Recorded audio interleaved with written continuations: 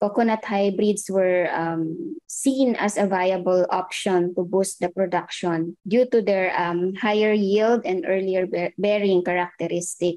We are promoting the use of coconut hybrids. It, it can increase the annual annual yield of coconut in the country per palm. When you say per palm per coconut tree, per plant from uh, 45 nuts to 150 nuts per palm per year. Our traditional coconut uh, would have the first flowering around average of 3 to 7 years. With our hybrids, first flowering could be observed in 3 to 4.5 years.